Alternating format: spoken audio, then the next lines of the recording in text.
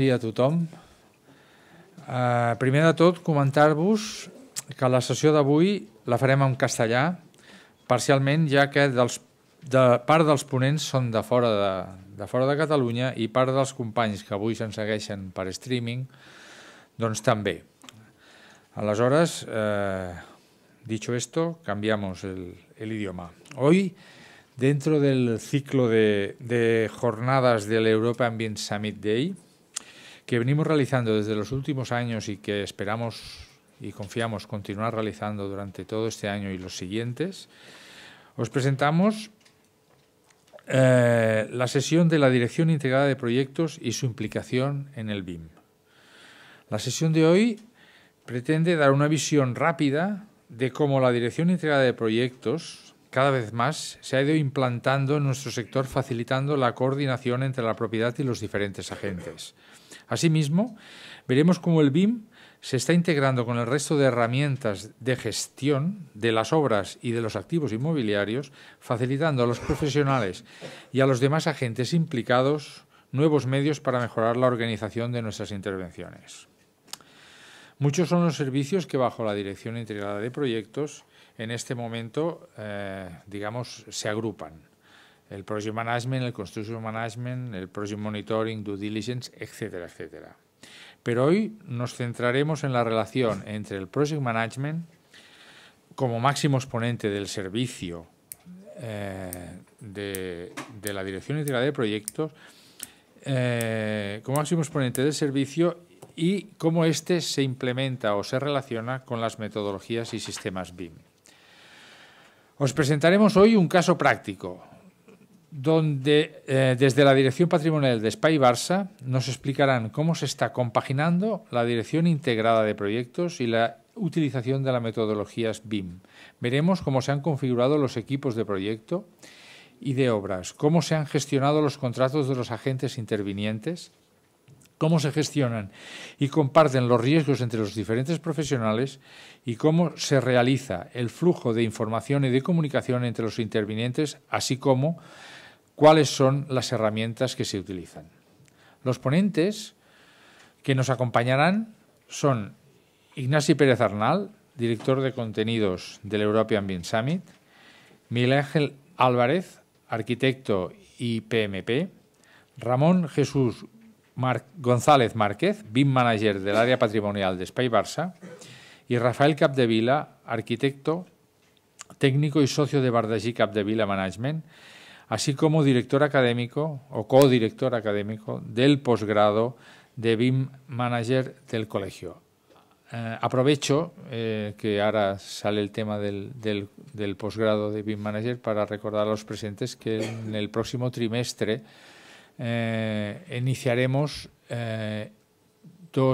una, nueva, una nueva edición del Master Project Manager y así como una nueva edición del posgrado de BIM Management, de BIM Manager del, que, da en este, que, se, imparte en este colegio. Antes de entrar en materia, me gustaría agradecer su colaboración continuada a nuestros socios en el European BIM Summit, Ignasi Pérez Arnal, CEO de BIM Academy, y Sergi Muñoz, presidente del Building Smart Spanish Chapter. Asimismo, nuestro agradecimiento a Roca como main partner del Europa Ambient Summit y a todo el resto de partners y patrocinadores del mismo, su apoyo en las organizaciones del Summit y en los EBS Days. Por mi parte, solo me queda agradecer a los ponentes y presentes su asistencia, con la certeza de que la sesión de hoy será del máximo interés para todos nosotros y que las presentaciones que hoy facilitarán el conocimiento y la futura implantación de las metodologías BIM en nuestro ejercicio profesional diario y que todos juntos lograremos su implementación en todos los procesos del ciclo de vida de la edificación. Sin más, paso la palabra a Ignasi Pérez Arnal, director de contenidos de European BIM Summit, que os presentará el primer informe del EU BIM Observatory. Ignasi, Juan Luis.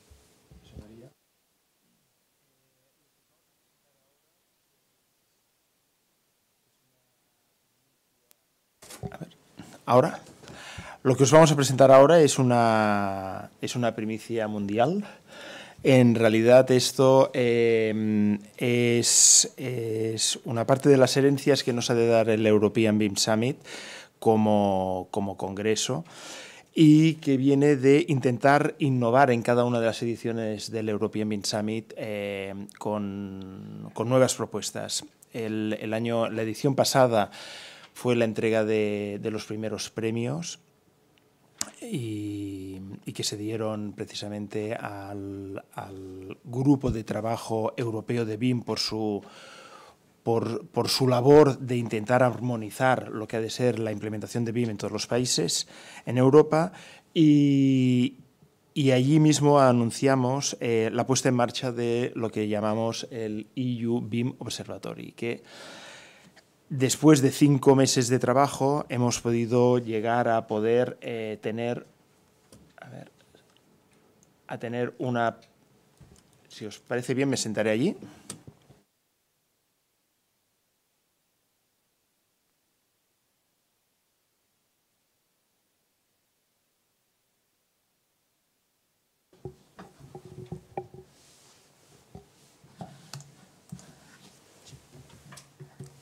Y es este intento de tener la información eh, sobre BIM en, en, cada uno de los países. ¿no? Hemos intentado hacer el ejercicio de tener la misma información con el mismo tipo, haciendo la misma pregunta a distintos países, a distintos expertos, a distintas instituciones para tener el mismo tipo de respuesta. Esto ha sido un poco complejo.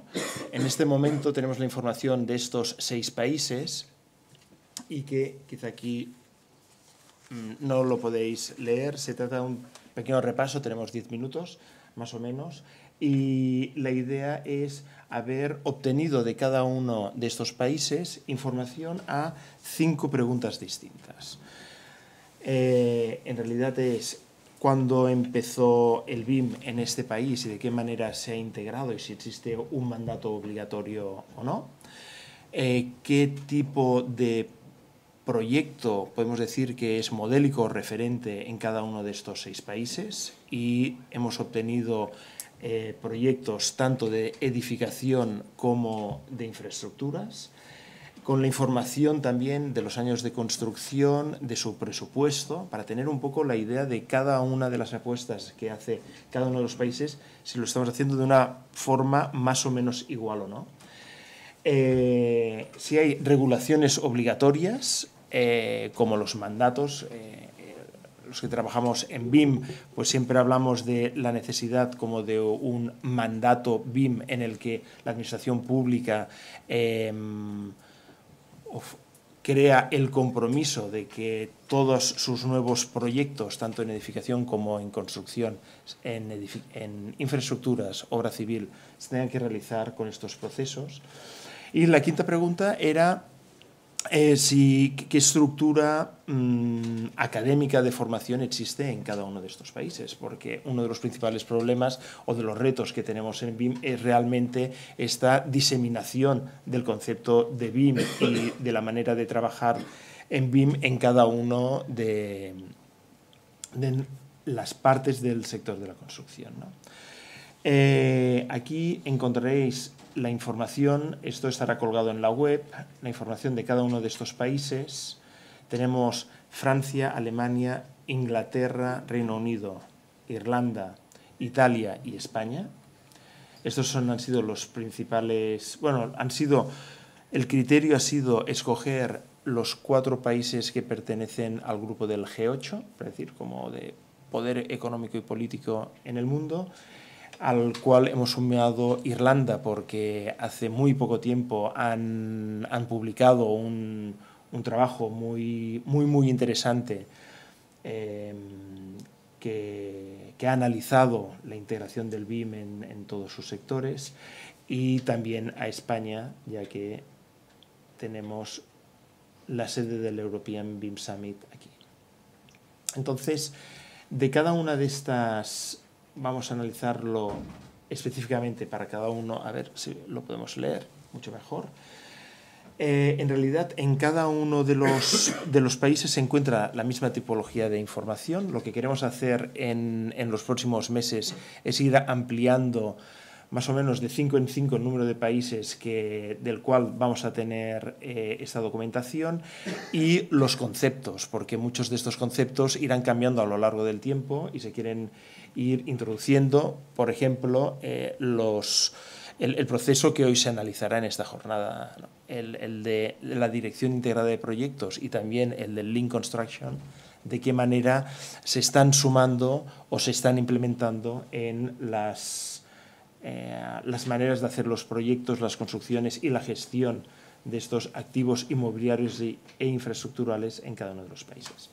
Vamos a poner como ejemplo el, de Francia. Si os parece, haremos un par de países.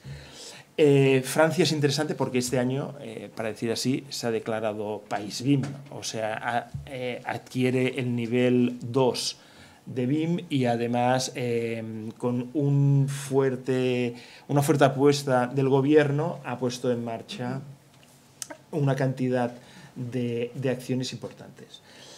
Como veis aquí, Veis, Francia lanzó la estrategia BIM amparado por dos ministerios. Eh, hay una célebre fotografía con Manuel Valls como primer ministro anunciando eh, la importancia de la, del BIM como uno de los elementos de la digitalización, de la transición digital de toda la industria en Francia.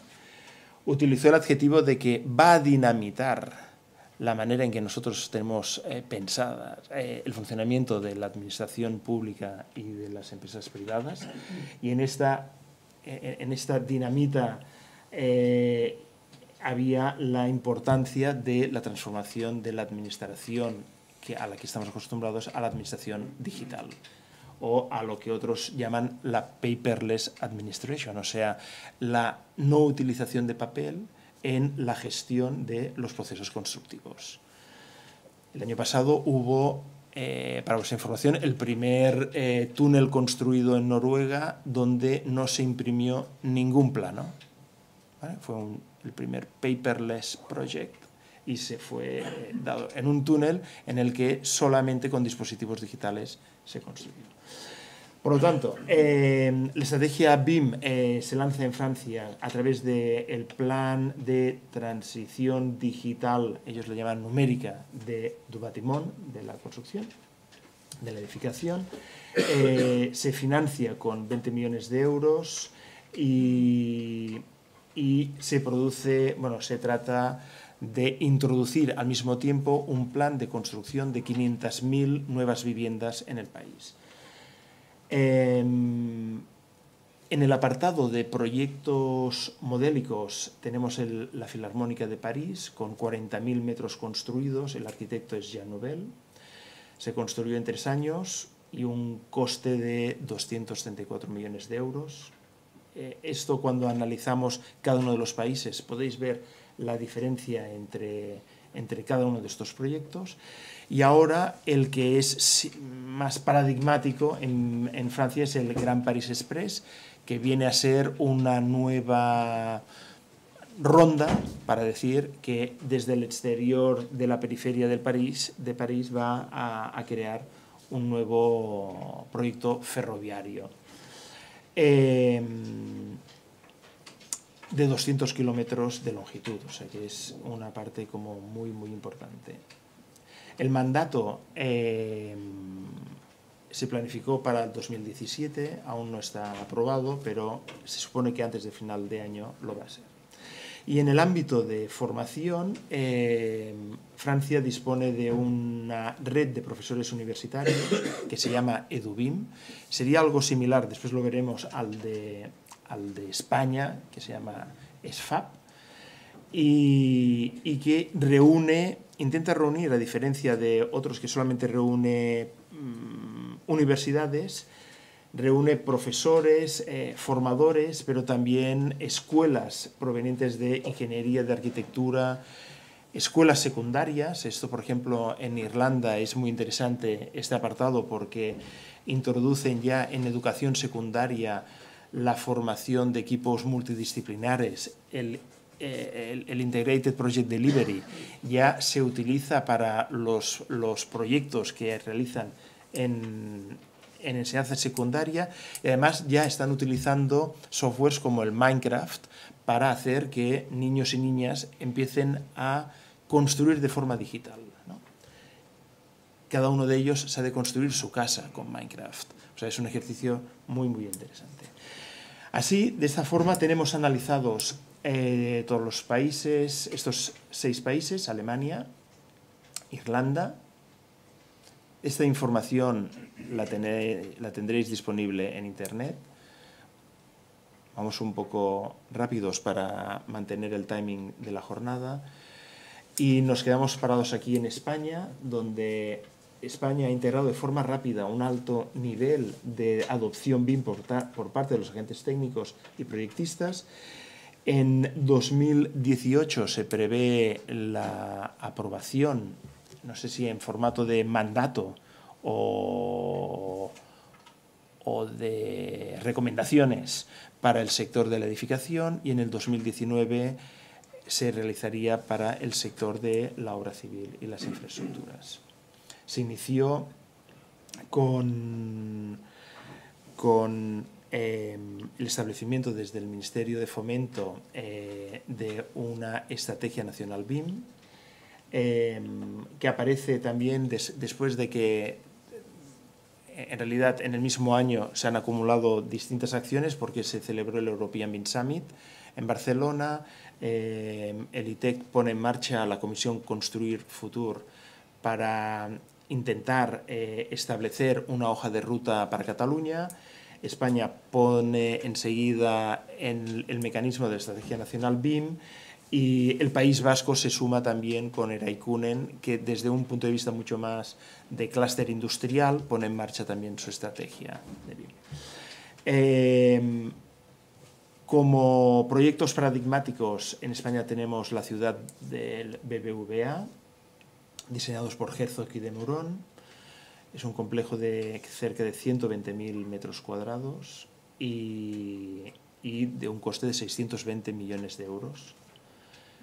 Y eh, por la parte de infraestructuras, eh, hemos identificado el Spy Barça como uno de los, de los proyectos interesantes de 40.000 metros cuadrados. Hoy, hoy lo presentarán, por lo tanto veremos si más o menos coincide y, donde el mandato de los socios eh, se hizo por el valor de 600 millones de euros para hacer la, la renovación del espacio del NOCA. El mandato de edificación e infraestructura ya hemos comentado y a nivel académico disponemos de SFAP, que sería el Foro Académico de BIM España, en la que participan 27 universidades, 14 de ellas de una forma muy activa. Entonces, este tipo de información es el que encontramos de estos seis países y que eh, en realidad se va a presentar eh, de, forma, de forma formal en el próximo European BIM Summit de los días 8 y 9 de marzo, al cual estáis todos invitados. Muchas gracias. Muy bien, gracias Ignasi por ofrecernos una visión de lo que está pasando en nuestros, en nuestros, eh, en nuestros, en nuestros vecinos, en nuestro entorno, en lo relativo a la implementación del, del BIM y, su progreso. Para finalizar mi intervención en la jornada de hoy, invito a que suba a la mesa para coordinar el resto de la jornada y dar paso a los diferentes ponentes, a Rafael Capdevila. Rafa. Y asimismo invito a subir a Miguel Ángel Álvarez y al señor Ramón Jesús González, ponentes en la sesión de hoy. Gracias a todos por gracias a todos por vuestra atención.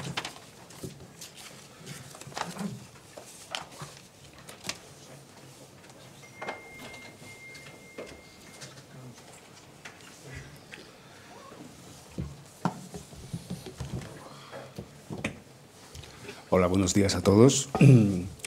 A mí me gusta hablar mucho, hoy hablaré poco. Le voy a pasar el protagonismo a, los otros dos ponentes. Qué mejor que expliquen su experiencia para dar realidad a todo esto que se está hablando en los últimos años. Eh, no me extiendo más. Os presento primero al doctor arquitecto Miguel Ángel Álvarez, que es, mm, eh, es PMP, Project Manager.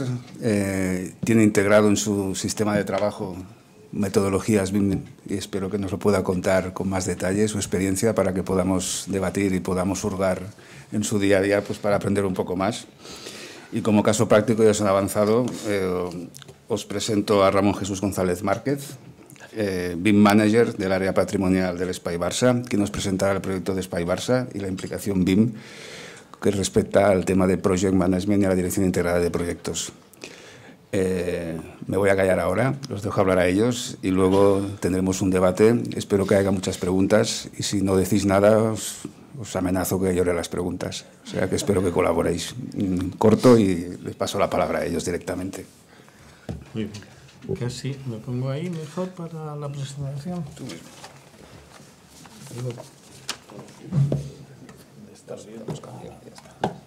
Vale.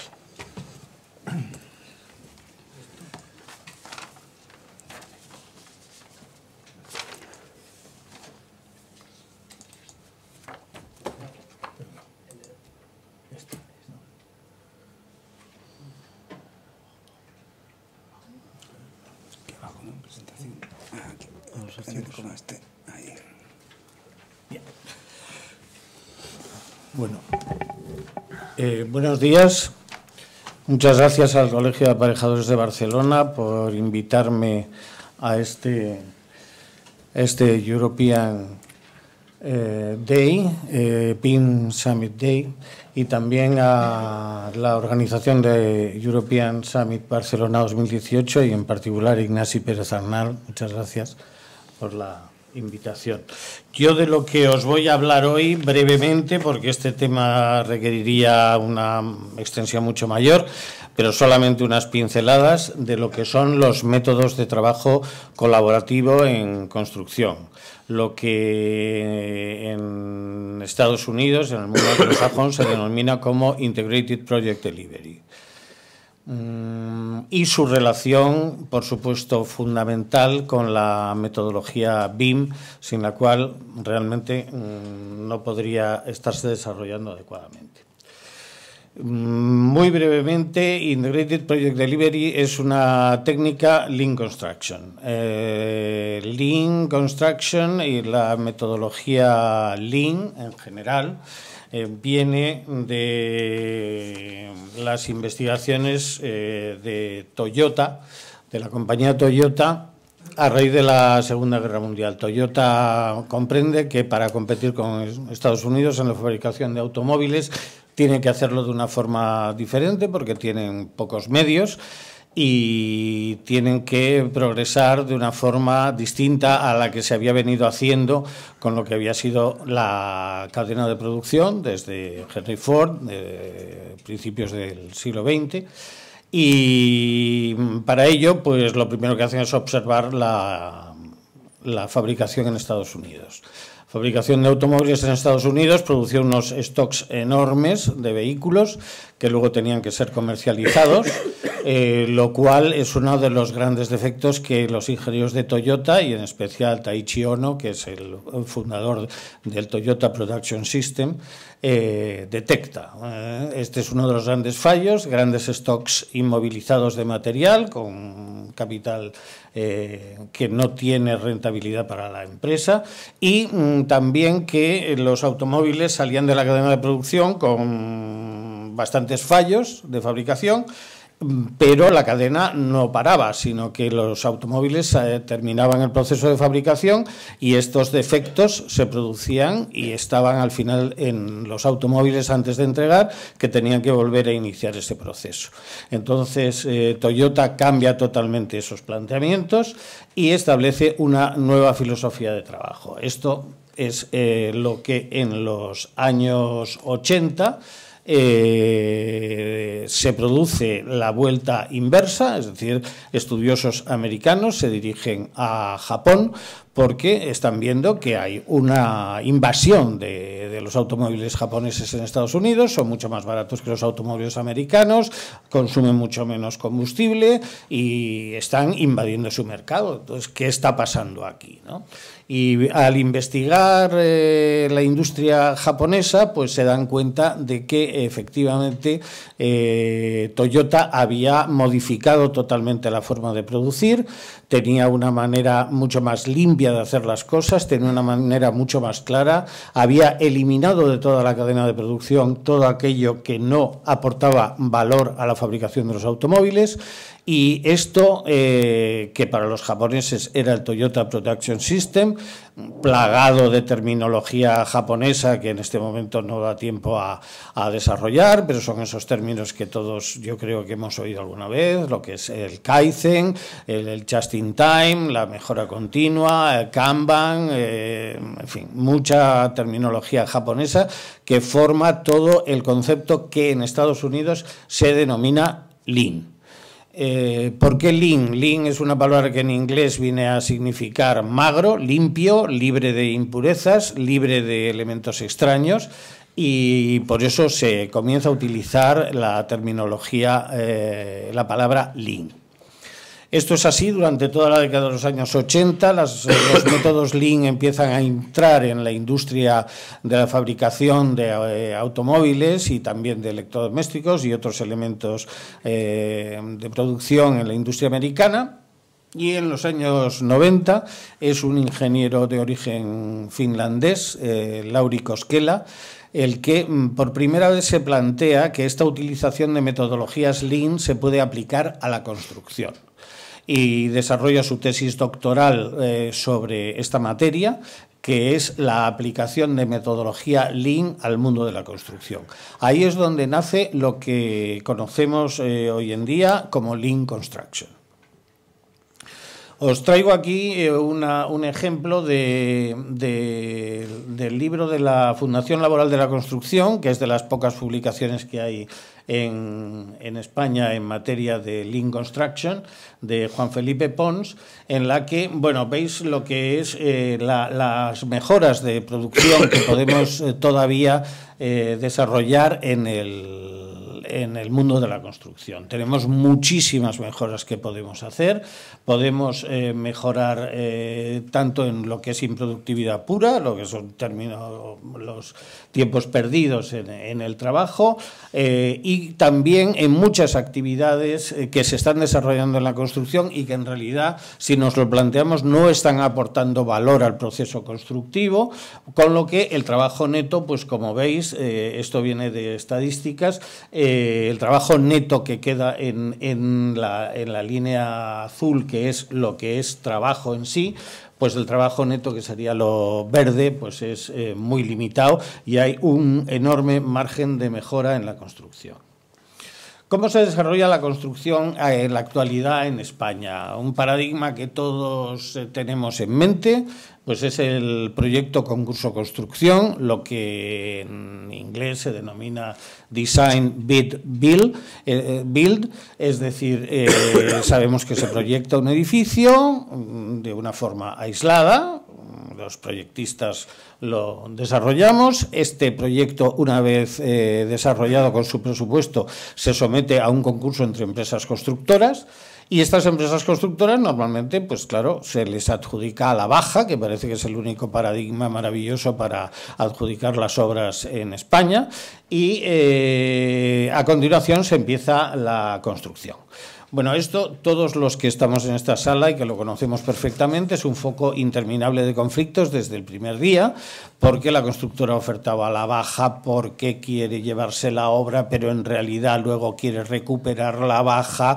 Eh, los proyectistas queremos que aquel edificio tenga el aspecto perfecto que nosotros habíamos diseñado, pero eso se empieza a ir de precio, se empieza a ir de plazo, la propiedad empieza a desesperarse. Bueno, Entonces, eh, esto son las responsabilidades y, remuneraciones enfrentadas desde el minuto uno en el proceso constructivo en España, que incluso se traslada a nuestra legislación, la Ley de Ordenación de la Edificación, eh, actualmente vigente, pues eh, lo que está haciendo es una foto fija de estos procedimientos. parece que no hay otra forma de construir, no hay otra forma de hacer un edificio más que de esta de esta manera. Bueno, esto mm, redunda en una obsolescencia de los métodos de trabajo y una ineficacia general en el proceso que es lo que nos lleva a incrementar precios y a incrementar plazos. Y la ineficacia indudablemente es despilfarro. Es decir, esto se traslada directamente a lo que decíamos es muy poco lean. Eh, la ineficacia no es nada lean, porque es lo que produce un incremento de costes y un despilfarro. Como una alternativa, eh, en Estados Unidos se comenzó a investigar, y ahora veremos un poco brevemente la cadencia de todo esto, con los métodos colaborativos, que es darle una vuelta de tuerca al proceso de la construcción. Desarrollar la construcción como un esfuerzo colaborativo de todos los agentes intervinientes que trabajan en un solo equipo con un eh, objetivo eh, de una meta única para todos ellos. Por tanto, van a tener remuneraciones y responsabilidades compartidas entre todos. Esto, mm, indudablemente, va a requerir por lo menos una flexibilización de la legislación en materia de construcción en España y una puesta al día de los métodos con los que estamos construyendo en este momento para producir esa mayor eficacia, ese desarrollo lean de la construcción y esa eficacia nos va a producir beneficios, ahorro, acortamiento de plazos y mejora de las condiciones de la construcción. Por tanto, Integrated Project Delivery o IPD, como se utiliza en, metodología americana, pues se, debería convertir en el, centro de la actividad en la que todos los técnicos, constructores, project managers, proveedores, etcétera, se eh, desenvolvieran en España. Esto también procede del mismo libro que está en Internet de la Fundación Laboral de la Construcción y que si tenéis interés en estos temas, pues os recomiendo consultar. ¿eh? De Juan Felipe Pons, que es un profesor de la Universidad de Valencia y que es eh, una persona que está muy metida en estos temas. Bueno, eh, esto tiene un desarrollo a lo largo del tiempo. Ahora veremos brevemente una, historia de cómo se desarrolla esto, pero en el año 2007 empieza a participar en la implantación de métodos IPD el American Institute of Architects porque lo ve como una metodología muy favorable, muy positiva y que debe fomentar. Entonces, eh, este desarrollo, que por parte de la IA comienza en el año 2007, como os digo, se, eh, digamos, pues se pone al día, ¿no? se ajusta en el año 2014.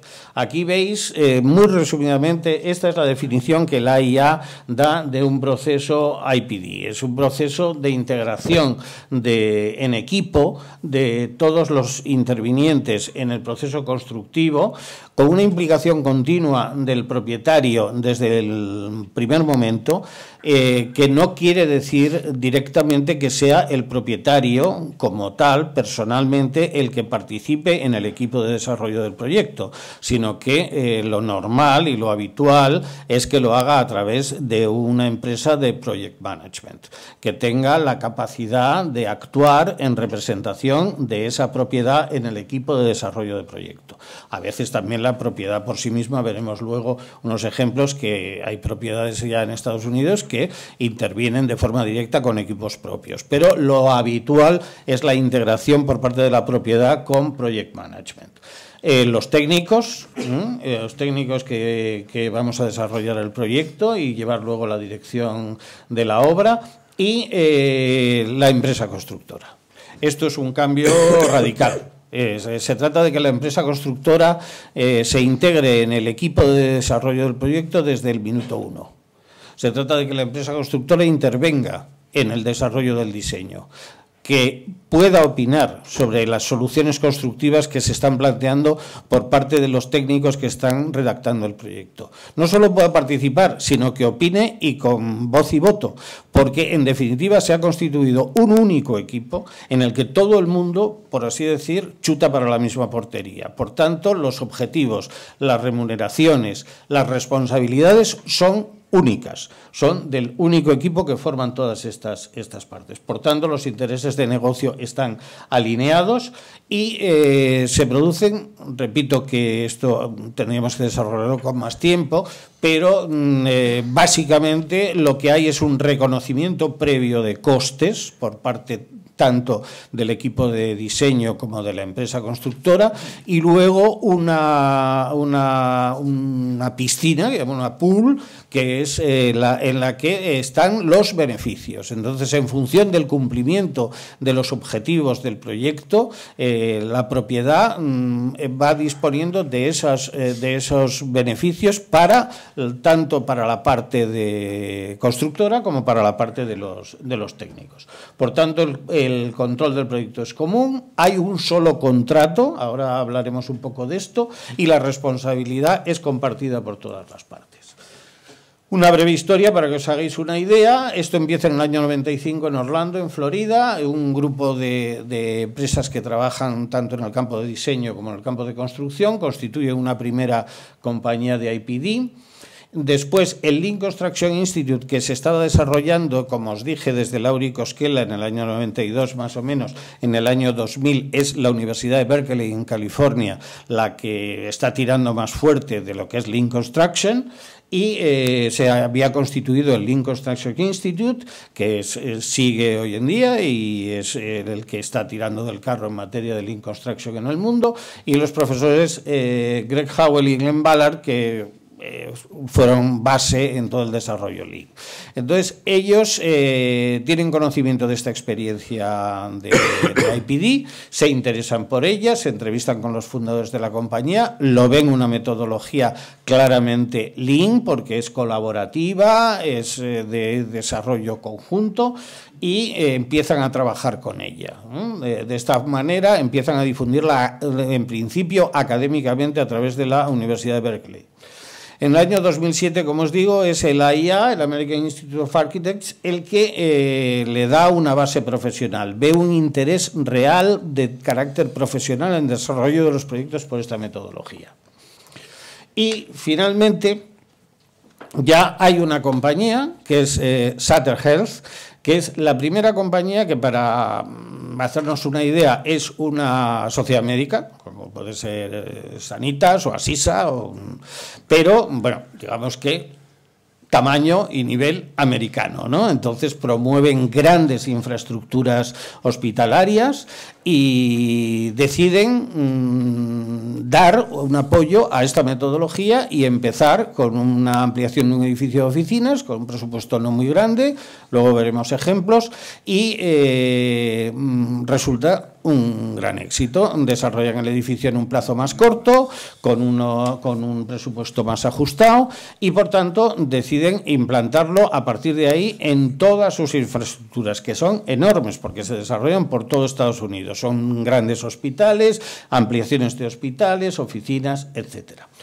En, eh, cuando se va a desarrollar este primer eh, caso que os digo de implantación de IPD en Estados Unidos, mm, hay un primer escollo que, que, surge inmediatamente, es decir, sí, sí, aquí vamos a trabajar todos en equipo, vamos a ser un equipo todo coordinado, pero eh, vamos a tener las responsabilidades compartidas, los eh, gastos, etcétera, pero esto hay que ponerlo en negro sobre blanco, hay que redactar un contrato. Y ahí es donde se redacta el primer eh, contrato que se denomina IFOA, Integrated Form of Agreement. Eh, es un contrato eh, que específicamente se redacta para este tipo de trabajos de IPD y ese contrato IFOA es un poco la base de los que se redactarán posteriormente para el desarrollo de esta metodología.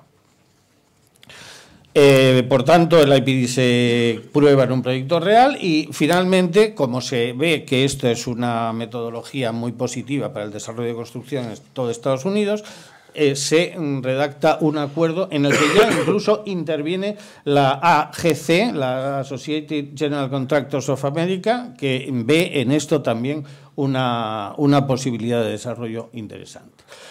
El IPD se desarrolla básicamente con un eh, equipo central que es el que va a, por así decir, a impartir las órdenes y va a llevar la gestión del proyecto desde el minuto uno, el, core team, en terminología en, inglés, que es el propietario, eh, los diseñadores, arquitectos e ingenieros y eh, la constructora que también puede ser construction manager y la propiedad también puede ser representada por un project manager. O sea, no veáis en esto que tiene que ser el propietario el que esté en el, en el, en el core team. Y después, alrededor de ese core team eh, se eh, giran y de él imparten las eh, órdenes hacia todo el resto de los intervinientes en el proceso. Muy brevemente, algunas bases en las que se fundamenta el IPD de forma mm, ineludible. La, primera de todas, e importantísima, es la incorporación temprana. Es fundamental que en la fase de desarrollo del proyecto el core team esté constituido y esté integrado.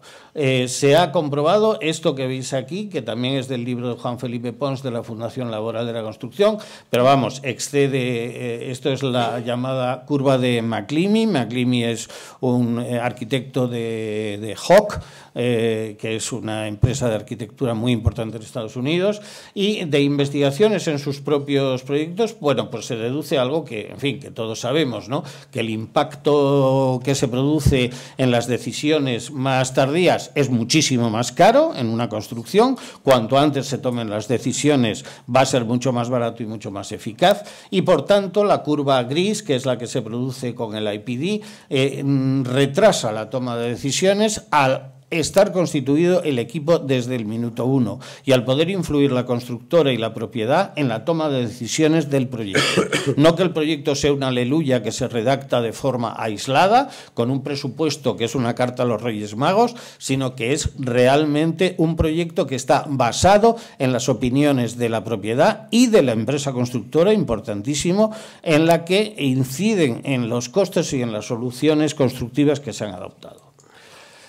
Y por supuesto llegamos a, BIM. Eh, la base de apoyo fundamental por la que estas metodologías pueden llegar a desarrollarse y pueden establecerse como forma de trabajar auténtica y genuina mm, de manera colaborativa es, sin duda ninguna, la metodología BIM. Metodología BIM es la que permite que estos trabajos coordinados se desarrollen de forma completa, permiten que todo el equipo de trabajo esté viendo siempre la evolución del modelo de trabajo, permiten que las modificaciones se estén produciendo en el modelo de trabajo para todos los implicados simultáneamente, permiten que se detecten las interferencias que se producen con las soluciones constructivas que se adoptan con antelación y es, digamos, una piedra filosofal o base del método colaborativo. Otro elemento también es la planificación colaborativa. Es una evolución del sistema de planificación que todos tenemos en mente, de lo que es el, diagrama de Gantt, repito, no deja de ser siempre una carta a los Reyes Magos, es algo que decimos que a ver si se produce en la obra, a ver si es posible que lleguemos a desarrollar la obra con este planning que tenemos, pues no. Una planificación colaborativa significa que todas las personas que van a intervenir en el desarrollo de la obra pueden opinar sobre la capacidad de desarrollar en cada momento la parte de trabajo que tienen que desarrollar. Esto es otra metodología Lean eh, que es el Last Planner System. Repito que todo esto es muy largo y yo simplemente quiero hoy daros unas breves pinceladas. Target Value Design, otra técnica Lean, que representa que el objetivo del proyecto es el precio. No presupuestamos para ver si conseguimos llegar a ese precio, que nunca lo conseguimos. No, nos mantenemos en un precio y adaptamos las soluciones constructivas al precio al que queremos llegar. Eso es Target Value Design y esa es la forma Lean en la que tenemos que empezar a mentalizarnos para construir. Por tanto, este es el conjunto, Lean con BIM y el eh, IPD. Aquí tenéis algunas ventajas eh, que se refieren en Estados Unidos, que es donde más experiencias hay de esta metodología. La propiedad conoce más eh, con anterioridad y de verdad el costo del edificio, un precio fiable hace auténtica ingeniería de valor, es decir, adapta soluciones constructivas a los costes, pero de verdad, y mm, tiene una menor probabilidad de litigio. La empresa constructora deja de ofertar a la baja, tiene unas mejores relaciones con la propiedad, puede influir en el diseño y puede incrementar su beneficio por cumplimiento de objetivos. Los técnicos aprenden de todos los intervinientes, tienen menor presión, mejores relaciones con la propiedad y también menor probabilidad de litigio. Aquí tenéis el primer ejemplo que se desarrolla en el año 2007 por Sutter Health, que es la ampliación de unas oficinas de un departamento médico con un presupuesto de 19 millones de dólares. Eh, a continuación ya acometen un hospital, eh, una ampliación de un hospital en el año 2008, ya con un presupuesto de 45 millones de dólares en San Luis, en Missouri. Mm, van creciendo en, presupuesto y desarrollo de la obra por las buenas referencias que les dan los ejemplos que van haciendo. El Hospital de Santa Clara en Fenton. E incluso esta es la, eh, la, Escuela de Periodismo de Arizona, que también se desarrolla con Integrated Project Delivery en el año 2008. Como veis, nos lleva un tiempo importante de desarrollo.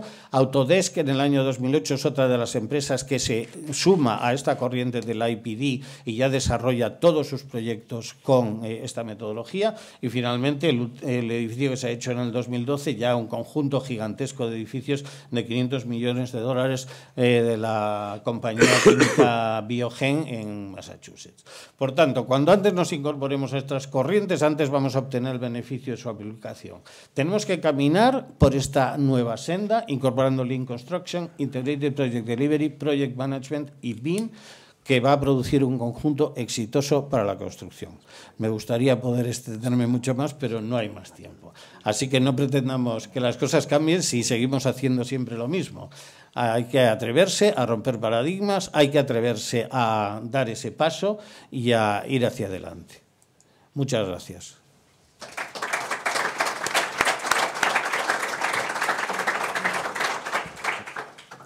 Muchísimas gracias, Miguel Ángel. Eh, gracias por la compresión, porque los datos que habéis dado son muchos y el tiempo es poco. Sin demorar más, le paso la palabra directamente a Ramón Jesús, que nos hable sobre el Spy Barça y su implicación y el. Bueno, perdonadme porque hoy no tengo voz, entonces a lo mejor antes de terminar me he quedado sin voz.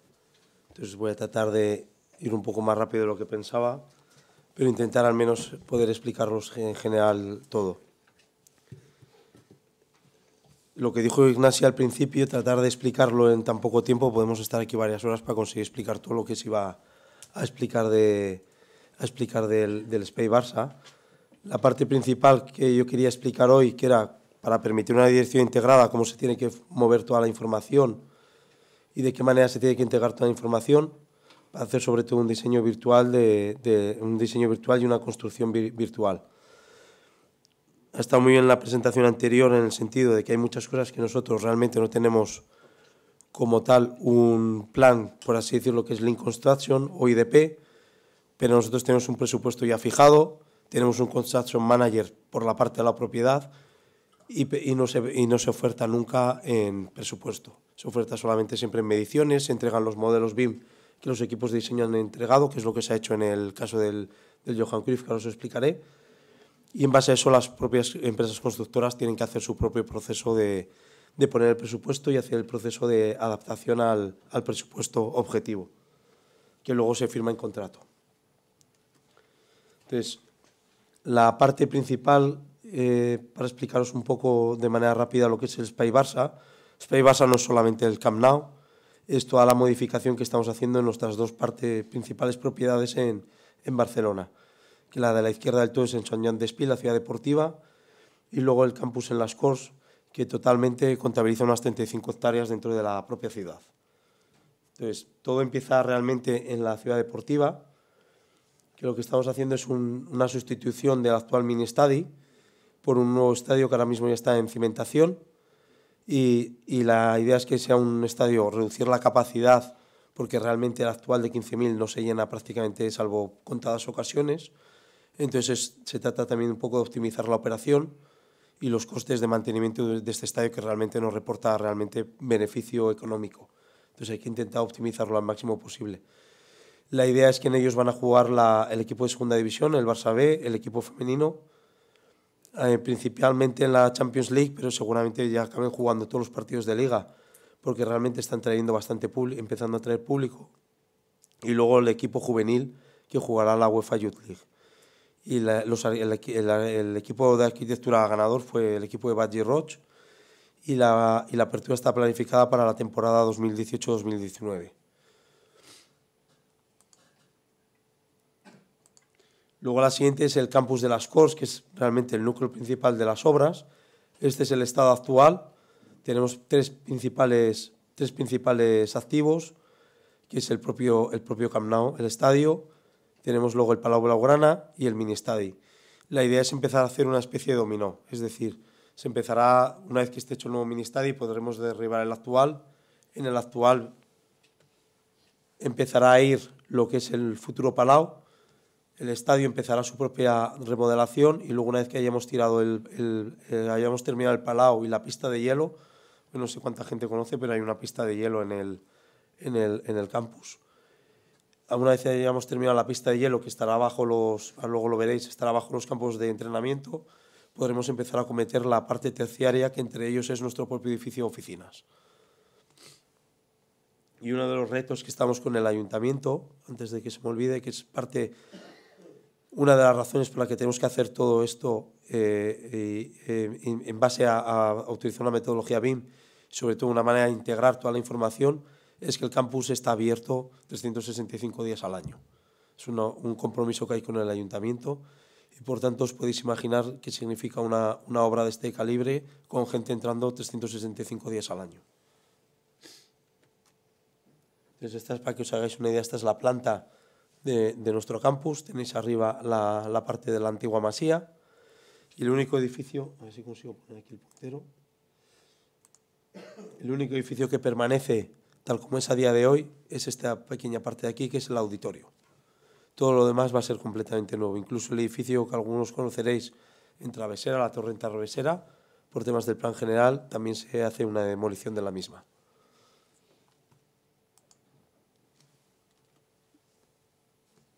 Entonces, un poco os paso ahora una serie de imágenes para que os hagáis una idea de la transformación urbana que va a significar este proyecto para todo el barrio de las Cors.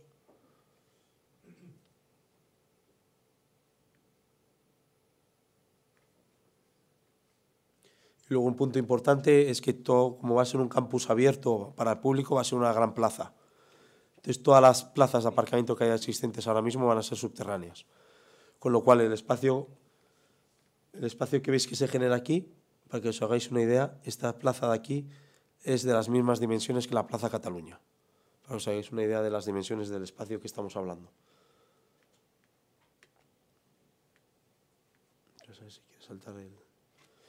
Entonces, la capacidad se va a aumentar a 105.000 espectadores. Aparentemente puede parecer que hay muy poco aumento de espectadores de los 96.000 espectadores actuales, pero realmente la primera gradería se vuelve a, transformar completamente, con lo cual ahí se pierden unos 10.000 espectadores. Y se tiene que complementar con los 10.000 que ganamos, con lo cual realmente hay una ampliación prácticamente de más de 20.000, 25.000 espectadores en el estadio. Luego va a estar completamente cubierto por una cubierta de una membrana textil, la idea es mejorar el, todo el tema del confort. Se va a ver unos 12 núcleos nuevos de comunicación vertical para poder acometer el crecimiento. La principal razón por la que este proyecto fue el ganador fue que los tres anillos de circulación eh, hablaban o tenían un buen diálogo con el, con el resto del proyecto de que era un espacio abierto. La idea es que por las terrazas se pueda pasear libremente cuando no hay un, no hay un partido. Y luego la idea sobre todo es que en la última terraza hay una, hay una skywalk de 360 grados obviamente bastante más grande que el que hay a, a día de hoy en la Plaza de Toros de las Arenas y con una visión que va, se va a permitir poder ver toda la ciudad desde arriba.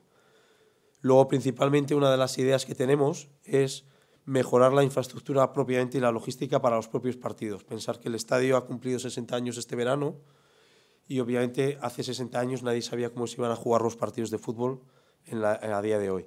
Entonces hay una gran necesidad de invertir realmente en cosas internas que realmente la gente, los espectadores no van a percibir, pero que son necesarias para poder hacer factible que se puedan jugar partidos de, fútbol del, del más alto nivel.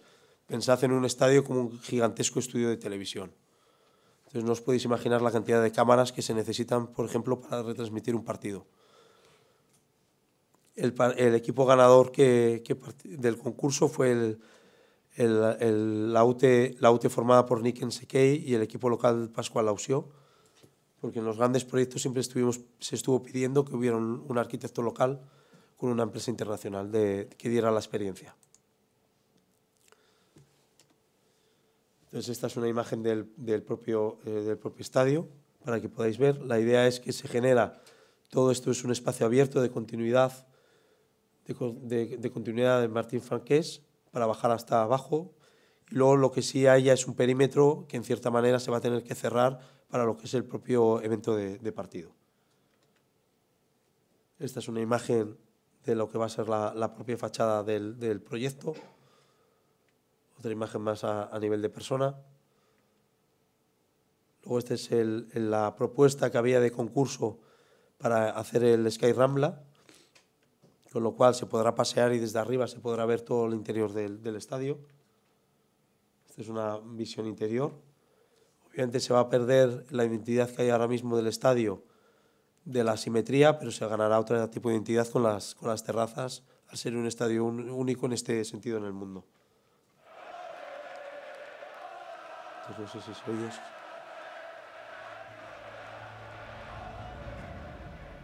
Being a Barca fan is the best there is.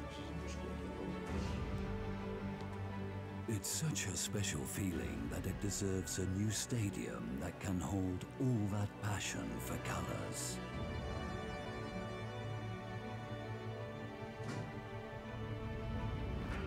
A stadium that's open to everyone, to the city and the world, and that respects those of us who have always been here.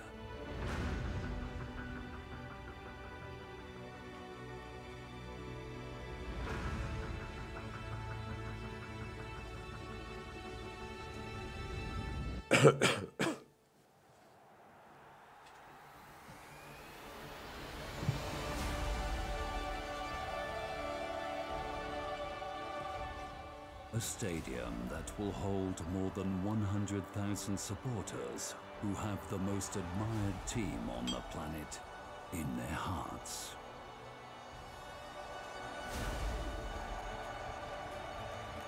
Where Barca passion will be heard louder than ever. This is where we want to carry on making history. And this is where we want to carry on making the whole world dream.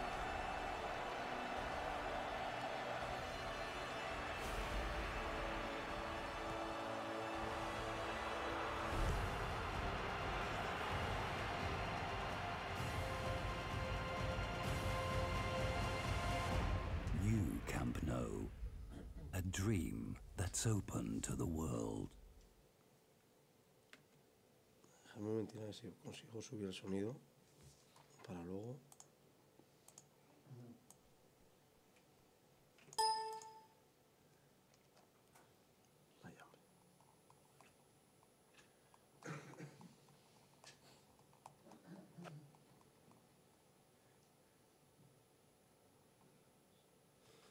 Luego la otra parte importante es el, el, el propio Palau Blaugrana. Tenemos una, una problemática actualmente que el actual Palau Blaugrana no, puede, no nos permite albergar los partidos de, supuestamente los partidos de Euroliga, porque tendrían que tener 10 más de 10.000 espectadores. Entonces es una necesidad también que se haga la, la modificación del propio Palau. La idea es hacer un, una arena completamente nueva para 12.000 espectadores, que en temas de conciertos y demás se pueda subir a 12.500 con lo cual también tratamos de ocupar un espacio en la ciudad que ahora mismo está vacío. No se trata de competir con ahora mismo con las instalaciones que hay en la, en la, en la, en la ciudad olímpica, sino complementarlas. Es decir, el Palau Sant Jordi para muchos eventos es demasiado grande, entonces la idea es tener una, una, una, una, un activo menor en la ciudad, de menor tamaño, que permita acceder a otro tipo de conciertos, que ahora mismo en Barcelona no hay una sala de estas capacidades. Luego se va a añadir una pista auxiliar que nos permita poder celebrar este tipo de conciertos, pensar que en el Palau tenemos cuatro equipos profesionales que a la vez entrenan también allí. Entonces, si, tenemos cuatro equipos entrenando, cuatro equipos compitiendo, sería imposible realizar cualquier otro tipo de evento. Entonces, se, amplía la capacidad actual con una pista auxiliar, donde principalmente jugarán balonmano, hockey, patines y fútbol sala, y en partidos importantes pasarán al, al, a, la, arena. Luego se, volver, se actualizará completamente el, la pista de hielo, con una capacidad para 800 espectadores. La cubierta de la pista auxiliar y la, y la pista de hielo, veréis ahora un, un, pequeño esquema en 3D, serán dos nuevos campos de fútbol para la FCB Escola, que pues algunos sabéis es, no es realmente la masía, es actividades de tarde para los niños de Barcelona, que hay cam tipo campamentos y entonces hay cursos de, de fútbol, de balonmano, de baloncesto, una de las peculiaridades únicas de la arena que se pidió en concurso era que el graderío fuera único y asimétrico para poder tener una configuración de anfiteatro, que ahora, ahora, veréis. La idea, la idea de este concurso ganó también por el concepto de, de, los espacios abiertos de circulación, que ahora veréis en el, en el vídeo explicativo, y luego sobre todo por la solución que dieron de, a, la grada, a la grada simétrica. Y el equipo, el equipo ganador fue la autoformada por HOK y TAC Architects. Esta es la, la configuración de, del concurso. Ahora tenemos una, ahora veréis en las imágenes, si os habéis fijado, hay una pequeña configuración distinta por cambios en el MPGM, pero básicamente es el mismo concepto, tener la arena principal, tener la pista auxiliar y la, y la pista de hielo. Y la idea es que todo este espacio de aquí vuelva a ser abierto. Una de las cosas que ya no va a existir por temas del MPGM será la, el puente de conexión con la, con la otra parte del campus será a nivel por, por Aristides Mayor. Esta es una imagen interna. Esta es la configuración asimétrica para poder llegar a hacer conciertos, cines, otro tipo de espectáculos más pequeños.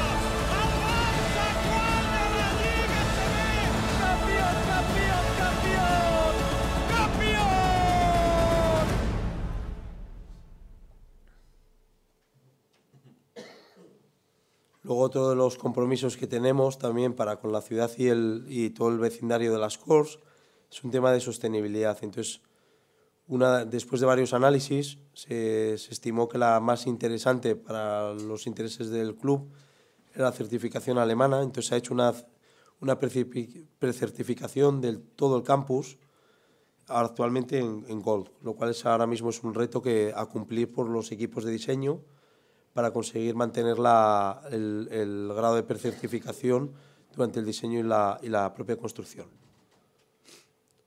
bueno, aquí hay un pequeño calendario para que, para que entendáis un poco el proceso. Ahora mismo está apareciendo en 2016, que es cuando se ha empezado el concurso de la parte del Johan Cruyff. Pero frente a lo que podéis pensar, el proceso realmente de, de Spy Barça empezó hace cinco años. Y lo primero que hubo, que es en parte un poco sentido a lo que explico antes, antes Miguel en la parte, de, en del Link Construction, empezó todo con un business plan. Es qué dinero tenemos para poder gastarnos, cuánto podemos qué tenemos que hacer para poder cumplir ese objetivo. Entonces, en 2014 hubo el referéndum, en donde se aprobaron 600 millones de euros de inversión máxima, de la cual no nos podemos mover. Solo ha habido ahora una pequeña modificación por el MPGM a 630. Pero es esto el dinero que hay para gastar y no se puede gastar nada más, porque está aprobado así por los socios del club. Entonces hay un tema que se ha ido haciendo, que es en cada uno de los concursos que hay, en la fase de construcción, aquí no, está, aquí no, se refleja, no se refleja la parte clara, pero en la parte de tender que hay de las constructoras, realmente las constructoras están haciendo ya un trabajo de análisis y no es un, simplemente es hacer una oferta económica y nos vamos, no.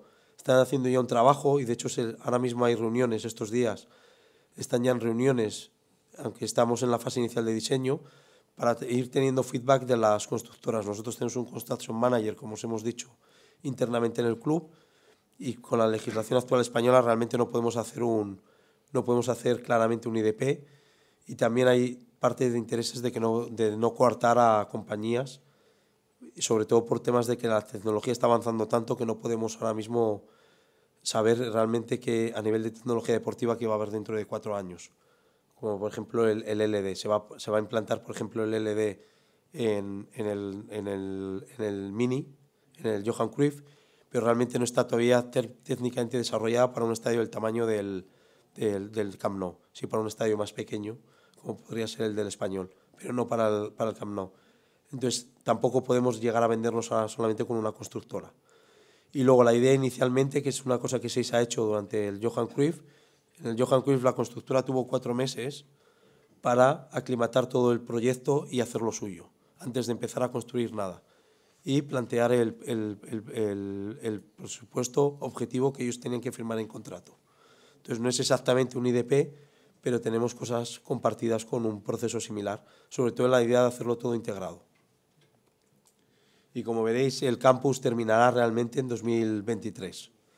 El estadio terminará la temporada 2021-2022, pero todo lo que es el campus, finalmente, el objetivo es que esté finalizado en, 2000, en 2023. Entonces, ¿esto qué supone? Supone un grandísimo reto, porque tenemos dos partes principales. Es la construcción del estadio coordinada y simultaneada con la, con el, con la operación de partido, mantener una, un mínimo siempre de 80.000, 85.000 asientos disponibles, y sobre todo una retransmisión de televisión asegurada, que esta es la más complicada. Pensad que al final toda la retransmisión sale por un cable de este tamaño, que obviamente imaginaos en una obra si es fácil romper un cable de este tamaño.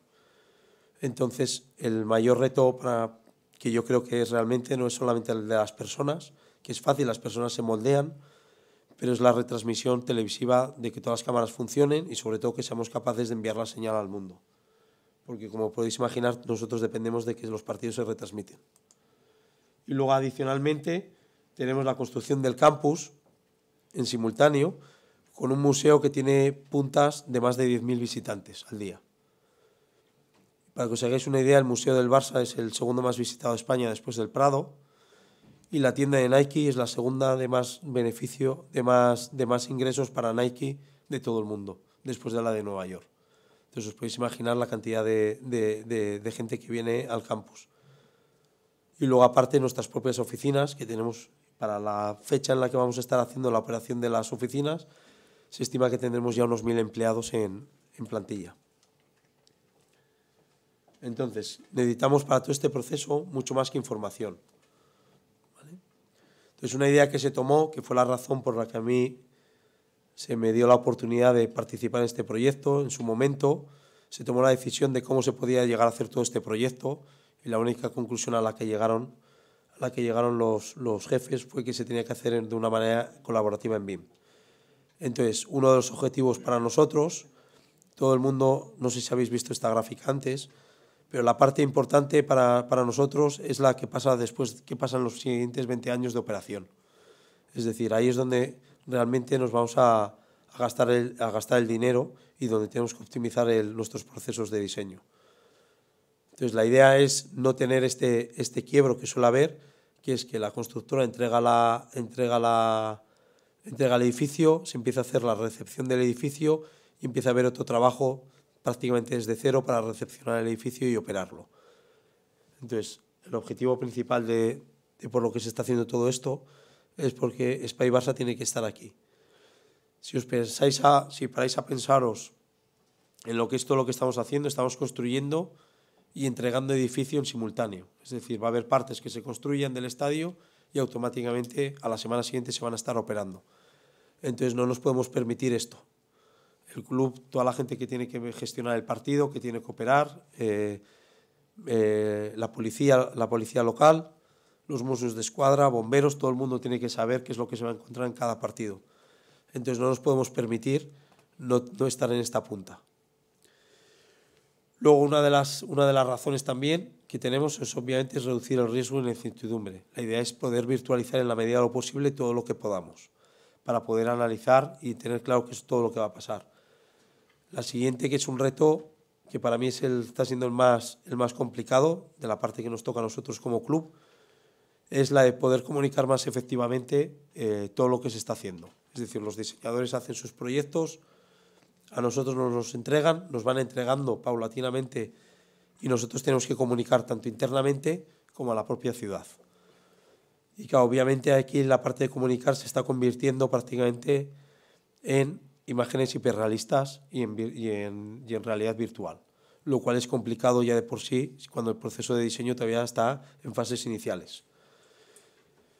Obviamente lo que os acabo de comentar, la parte de tener información más certera, eh, la idea es hacer un modelo colaborativo y luego una estrategia de club a largo plazo por toda la parte de operación es hacer todo en IFC, con lo cual añadimos una variable más de reto a todo el, el follón que tenemos montado. Con lo cual nosotros a los equipos de diseño les dejamos utilizar las, las herramientas que ellos decidan, no estamos coaccionando nada, lo único que estamos obligando es que se entregue en IFC el, el proyecto y que se pueda gestionar. Con lo cual ahora tenemos un reto que luego, luego lo volveré a recordar, que es a nivel de campus, el IFC funciona a día de hoy muy bien a nivel de una, propia, de una única edificación. Cuando tenemos un campus y empezamos a meter toda la información civil, pues la cosa se empieza a complicar. Entonces, una de las cosas que es importante, de las que yo estoy peleándome internamente, es que la, información tiene muchas caras. Principalmente nos estamos focalizando siempre en el qué, en los documentos, en la información gráfica, en la información no gráfica. Nosotros una de las metodologías internas que estamos siguiendo más es la parte británica. Estamos intentando a utilizar como guía la base del, el, el del British Standard, el 1192, que es el proceso colaborativo realmente en construcción, que luego es el que se ha ido adaptando a BIM porque además es el que para nosotros tiene contemplada la parte de, de CAPEX, de inversión, de construcción, y luego tiene la, la parte de OPEX de, de gestión de los activos. Pero si abrimos esta caja, dentro tenemos una parte muy crítica para nosotros como cliente,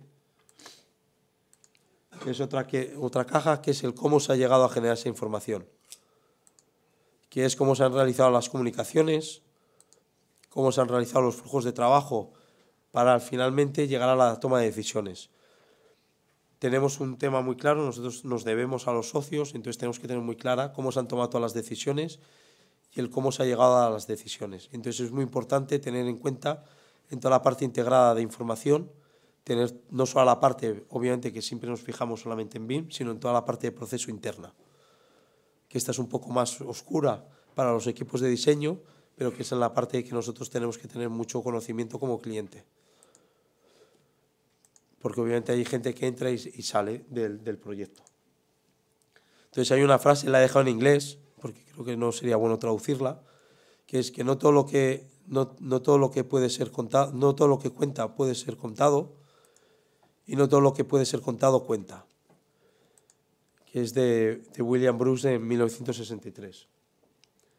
Aquí, aquí pongo, ¿Por qué pongo esto? Porque muchas veces estamos pidiendo información que realmente no necesitamos o estamos intentando meter información que no necesitamos. Perdón, repito, estamos pidiendo información que no podemos tener, modelada físicamente en 3D, y entonces es un tema y luego hay mucha información que se pone que realmente no, no, es útil. Entonces lo único que genera muchas veces es ruido en la conversación. Entonces una parte importante que estamos intentando establecer, nosotros estamos trabajando desde el primer día las tres partes importantes que todo el mundo, que todo el mundo eh, sabe y quiere de BIM, que es la parte del modelo 3D, la parte de la planificación 4D y la más importante para nosotros, la parte del, de 5D del plan de costes. Aunque parezca mentira, desde el primer día se tiene un plan de costes, lo cual es la mayor pesadilla para los equipos de diseño ahora mismo, porque tienen que estar actualizando el plan de costes de manera, de manera permanente. No es un resultado final de hacer, de, hacer una, de hacer unas mediciones y decir, oye, pues mi plan de costes final es este, no. Se está analizando desde el primer día y la que nosotros estamos analizando también internamente desde el primer día es toda la secuencia constructiva y toda la coordinación constructiva, porque tenemos múltiples proyectos en los que, que coordinar y simultanear y aparte lo que os comentaba antes, comunicar internamente para cada partido cómo se va a hacer la operación de partido. Entonces un poco hemos establecido esta metodología de este proceso integrado de la información, de cómo tiene que ir toda la información para poder llegar finalmente al objetivo final, que es la parte del, plan de costes integrado. Es un poco lo que os acabo de comentar. Entonces una de las cosas internamente que estamos separando, perdonad, de las cosas que estamos separando es el trabajo de los arquitectos, que para nosotros no son arquitectos como tal, son lo que llamamos general planners. Es decir, tienen que entregar un proyecto integrado entre todas sus disciplinas y es su responsabilidad entregarnos esa parte. Con lo cual, realmente nosotros lo que estamos intentando establecer es un proceso de clasificación, que no es fácil, es una, es una labor de, de intentar, por un lado, para nosotros homogeneizarla entre todos los proyectos, y ahora mismo con el propio estadio del Camp Nou, es un proyecto gigantesco para, para, para hacer esta, esta labor en sí.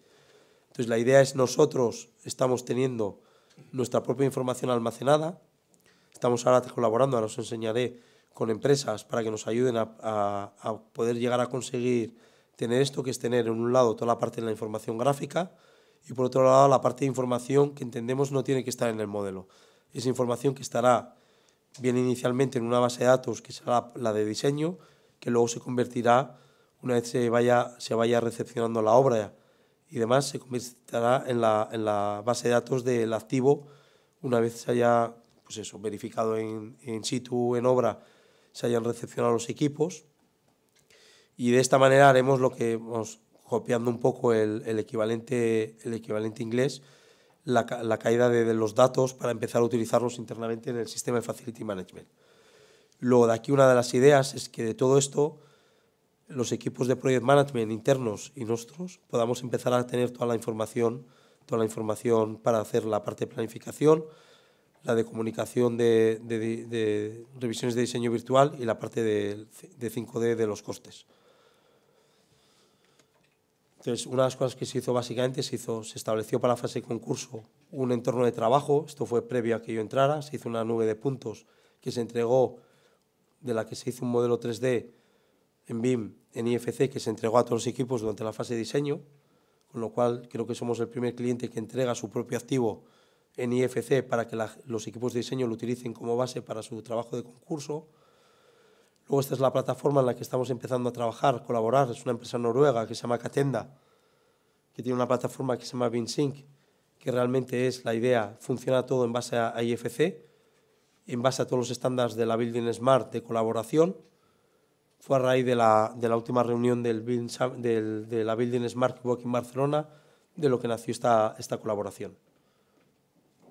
Y la idea, por ejemplo, es tener la información para nosotros crítica, que es qué pasa con cada asiento, este es el estado actual, qué va a pasar con cada asiento en el estado actual, en la situación futura. Luego, un reto importantísimo, como podéis imaginar, es la, la secuencia de simulación, sobre todo, no ya solo nosotros el software internamente que utilizamos detrás es el Syncro, sino cómo transformamos todo lo que estamos haciendo en Syncro en una imagen que todo el mundo pueda entender, que cualquier persona no técnica pueda realmente llegar a entender. Entonces aquí es donde nos está planteando a nosotros un reto, un reto faraónico, que es cómo conseguir estar actualizando visualizaciones casi hiperrealistas del proceso de construcción a la, vez, a la vez que se está cambiando el diseño. Para que os hagáis una idea, el Palau estamos todavía en fase de anteproyecto, el Camp Nou estamos en fase de proyecto básico y nosotros estamos teniendo ya que generar este tipo de simulaciones desde ya, internamente. Esta está hecha interna, entera por, por nuestro equipo, por nuestro schedule manager. Entonces, para terminar, voy a pasar esto, aquí esto se ha saltado. Esto me tenía que haber La idea es cómo alineamos a los diseñadores desde las etapas tempranas para producir modelos básicos iniciales en 3D que nos permitan hacer lo que os he comentado, la planificación en 4D y de, y de la parte de costes, empezar realmente a utilizarlos como, como herramientas para, por, mediante ratios, no necesariamente teniendo que modelar todo, poder empezar a ajustar bien la parte de 5D. Como habéis visto del aparcamiento, nosotros ya tenemos un modelo básico hecho de todo el aparcamiento hecho internamente todavía no ha salido a concurso. Cuando salga a concurso se les entregará ese modelo como base de partida. Entender principalmente qué información necesitamos y cuándo realmente la necesitamos. Es decir, ir más allá del 3D. De cierta manera, los famosos niveles de detalle se tienen que utilizar para poder especificar mejor, mejor esta parte. Luego hay un tema que es un reto importante, que estamos colaborando con gente que está participando en la Building Smart específicamente en este tipo de, en este tipo de, de retos de la parte civil, es cómo mejorar la parte civil del IFC para poder llegar a contemplar el campus completamente entero. Y luego uno de los retos, que es una poco, un proceso similar a lo que tendría que hacer, en este caso, lo que está haciendo INECO con el gobierno, es cómo preparamos al propio gobierno, a la propia entidad pública, en este caso, cómo nos preparamos internamente nosotros a nivel de club para poder ser capaces de, de, usar esta información.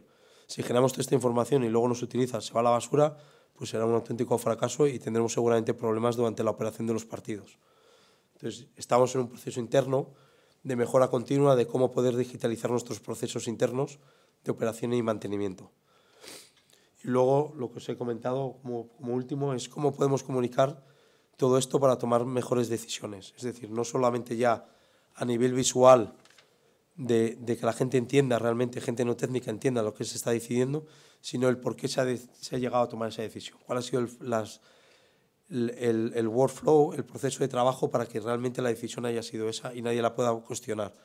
Pensad, si visteis en el calendario, que el proyecto Stay Barça dura más allá que lo que son propiamente elecciones municipales, elecciones, elecciones, elecciones ahora mismo de la comunidad autónoma, que obviamente va a cambiar y en última instancia la que aprueba el, el, el plan general es la, es la Generalitat y el propio club tiene sus propios procesos de elección de la, de la parte de la junta directiva.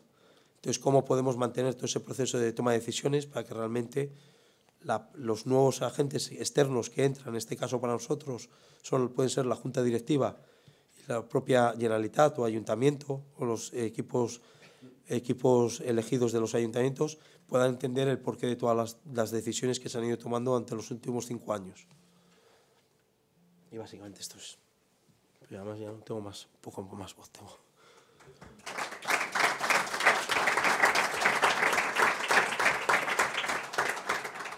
Bueno, muchas gracias a los dos. Gracias a tu voz, que parece que te ha soportado. Eh, abrimos un turno de 15 minutos de, de coloquio. Supongo que tendréis preguntas, dudas, cuestiones a partir de las ponencias que hemos tenido. Eh, antes de daros la palabra, de todo lo que he estado, hemos estado escuchando, a mí hay una cosa que, que, me harto de decir, y la verdad es que en las dos ponencias ha salido, que es la necesidad de implementación temprana de, de toda la gente, de los stakeholders o del de trabajo desde el principio para poder trabajar de manera óptima. Eh, creo que es, es, tiene que ser uno de nuestros grandes retos porque en nuestro sector esto al menos en las obras normales, en las obras mortales, no en estas obras tan faraónicas no se da. ¿no? Os cedo la palabra a vosotros para iniciar el coloquio.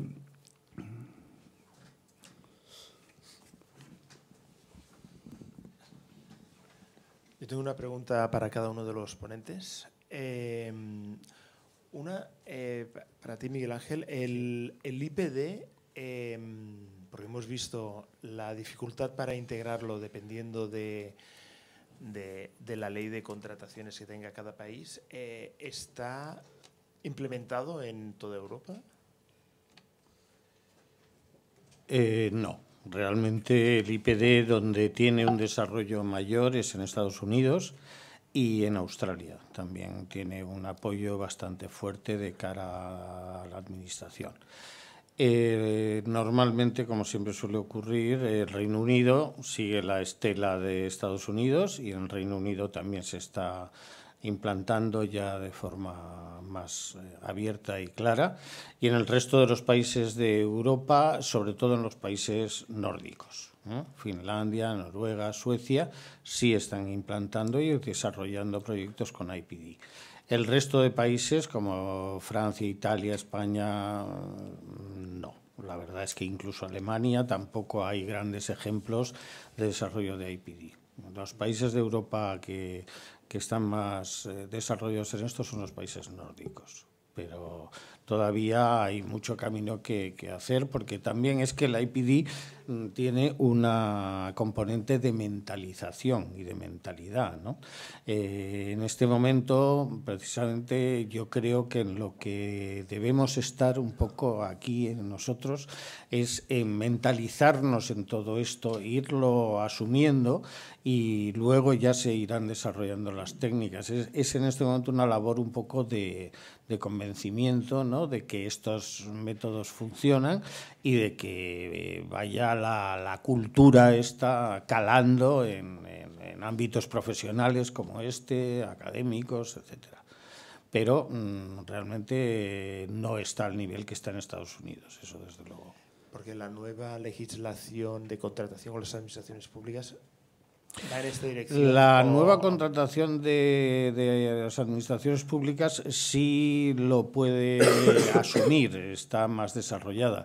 Pero precisamente el otro día tuvimos la reunión de la Comisión BIM en, en Madrid y yo pregunté a una representante del Ministerio de Fomento sobre la ley de ordenación de la edificación. Y lo que me contestó es que de momento la ley de la ordenación de la edificación no tienen previsto por ahora eh, darle una revisión, porque colisiona con temas de competencias profesionales, de la ley de colegios profesionales, de una serie de problemas. Y más o menos lo que vino a decir es que por el momento la ley de ordenación de edificación no se va a cometer. Entonces, eh, bueno, con el marco legislativo que tenemos, pues hay que intentar, de alguna manera, meter estas cosas en lo de otros agentes de la administración, de la, de la edificación, como, como ocurre con el Project Management, que no, in, increíblemente no tenemos una ley de ordenación de la edificación que no contempla la figura de project, del Project Manager, una figura internacionalmente implantada de forma completa y bueno, pues se mete en otros agentes de la edificación, pues habrá que intentar un poco con lo que hay, pero sería necesario, sería muy bueno el evolucionar legislativamente en ese aspecto, porque si no es complicado. ¿no? Antes nos decía que de cara al Barça también pues le, les plantea problemas ¿no? con con los contratos con empresas constructoras, en fin, o sea que una, una armonización legislativa sería necesaria. Y una pregunta para Ramón Jesús. Eh, ¿Por qué se ha escogido DGNB como la certificación ambiental más propicia para...? Bueno, la explicación exacta no te lo voy a ser capaz de hacer se escogió incluso antes de que yo entrara en el, en el club. La idea es que no hay ninguna certificación específicamente que tenga en cuenta edificación deportiva. No está, no está contemplado. Hay mucho para, para oficinas, hay mucho para residencial, pero específicamente en deportivo no hay, no hay, no hay nada. Entonces, había una, había una manera de, de poderlo integrar como campus y, la parte de, de actividades que se podían hacer adicionales en el campus en principio fue por esa la razón. Vamos, si, si necesitas darte más información específica, te la puedo... Porque ahora mismo sé que analizaron todas y al final muchas están centradas. El lead, el lead está muy centrado en, en edificios de oficinas. El BRIAM está más centrado también en edificios de oficinas residencial y no, no contemplan nunca el tema de deportivo. La del DGNB era más flexible en el sentido de los planteamientos que tú podías hacer en el, en el proceso. Entonces, luego también tenemos una, una, una razón interna. Muchos de nuestras metodologías de trabajo que estamos teniendo internos en Spy Barça son germanas, porque tenemos mucha experiencia de la gente del equipo que hay, que viene de, proyectos en Alemania, en nuestro construction manager es holandés, entonces también todos los procesos de trabajo en esos dos países nos serán mucho más familiares a todo el equipo interno. Entonces también directamente viene un poco por ahí.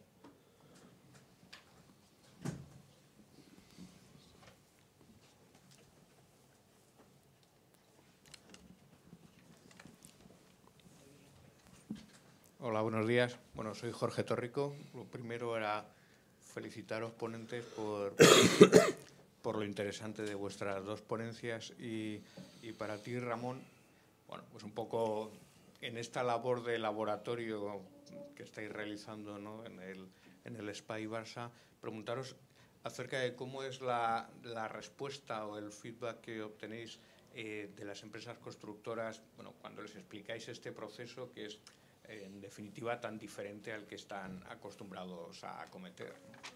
Pues mira, te explico. De las internacionales les parece lo más lógico y, lo normal de, hacer. Las nacionales, las que tienen las, las que las pues tenemos en el, en el Johan Cruyff, hemos estado más bien con empresas de, ámbito, de ámbito local. Claro, para ellos ha supuesto un, un reto completamente, completamente nuevo también en el sentido de que nunca había habido un cliente que les hubiera sido tan transparente para lo bueno y para lo malo, entregando todos los modelos BIM del, del, del, del Johan Cruyff, porque se entregó toda la información BIM en, en, el proceso. Con lo cual, para nosotros fue un aprendizaje también de, de cómo se podían medir cosas distintas del mismo modelo. Entonces, para las, las locales, obviamente, para ellas supone un gran reto porque les obliga a, empujar las de ya de más ámbito internacional, eh, nacional y sobre todo que tienen mucha experiencia internacional, claro, lo que se dan cuenta es que es una manera de empezar a hacer cosas que están haciendo fuera en el extranjero, tener que empezarlas a hacer ya en territorio nacional y sobre todo es que entienden que es la única manera de poder llevar a, a buen puerto un proyecto como este. Luego, sobre todo, el cambio más que les está costando más a, la, a todos, no tanto a la gente, a las internacionales, es todo este periodo de preconstrucción que antes de empezar a mover nada, estamos pidiendo que realmente se sienten y hagan todos sus planos de construcción, analicen todos los problemas que pueda haber y todas las, todas las es una manera indirectamente de, de evitar el, el, contradictorio. Obviamente no vas a evitar nunca un contradictorio porque no se puede cerrar el 100%, pero la manera de reducir riesgo es que se, se analice todas las posibilidades de, de problemas que hay en obra. Entonces, en este proceso de preconstrucción tiene que salir toda la luz. Es un, es un acuerdo tácito entre la constructora y nosotros como cliente para poder realmente llegar a ajustar el presupuesto final. Entonces, en este proceso también, obviamente, tenemos que hacer una técnica normal de Lean, que es Value Engineering, que es la palabra más temida por nuestros equipos de diseño, porque el Value Engineering lo estamos haciendo ahora mismo ya durante la fase de diseño. Entonces, es una cosa que se han visto fuera las, las grandes y, y, lo ven como una buena oportunidad de que se empiece en España a hacer también en, en proyectos, en proyectos locales. Sí, a mí me ha encantado, la verdad, tu presentación y me ha encantado ver esta experiencia tan alineada con, con procedimientos Lean y con... Eh, no es eh, porque eh, no se puede llegar a la totalidad desde el primer intento, pero es eh, un intento magnífico. Sí, pues es que os doy la enhorabuena porque yo no, no, lo, no lo sabía. Y soy del Madrid, ¿eh? Sí. pero desde luego os doy es. la enhorabuena porque está enfocado con criterios que efectivamente son los criterios eh, que internacionalmente eh, funcionan.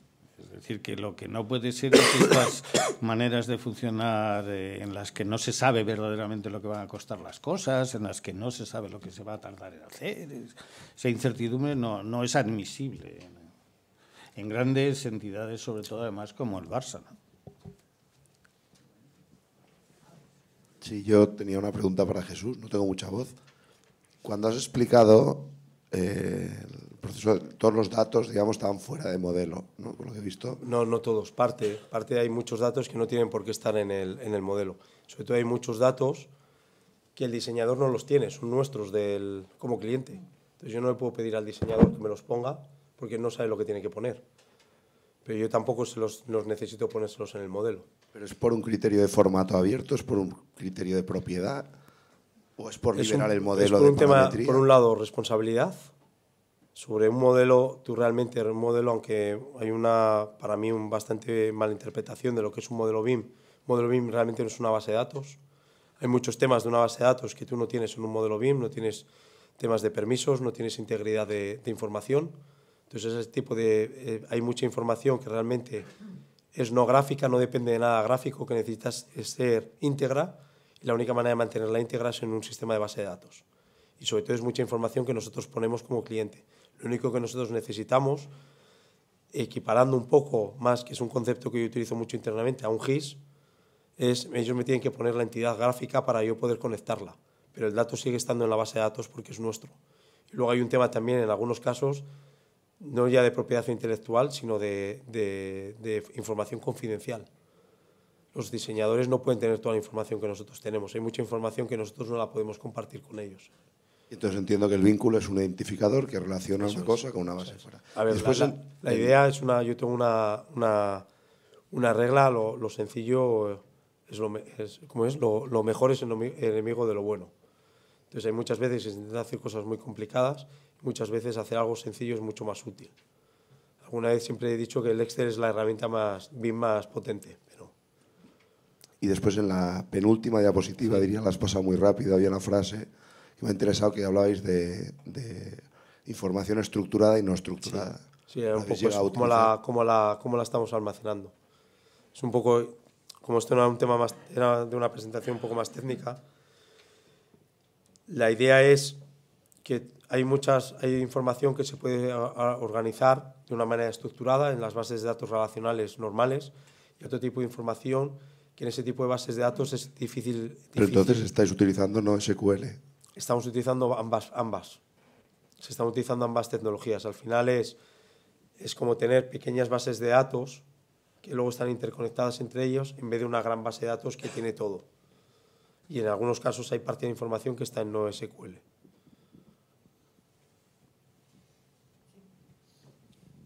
Sobre todo información, información que no sabemos qué estructura tiene a, día de hoy, que puede ir evolucionando. Sí, una pregunta bien para Ramón y es la información que le pedís a las constructoras sobre el proyecto, pero antes de antes de adjudicar, ¿hasta qué punto las constructoras están dispuestas a, a trabajar mucho antes de, esa adjudicación y esa relación un poco como, como la tenéis? Entiendo que como cliente queréis que, para aseguraros que hagan una buena propuesta y trabajen mucho antes y ellos intentarán trabajar no tanto.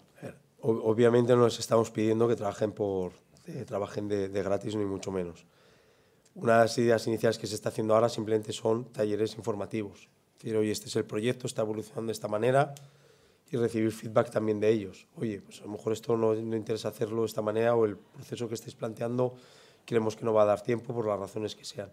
Es un tema más informal en ese sentido.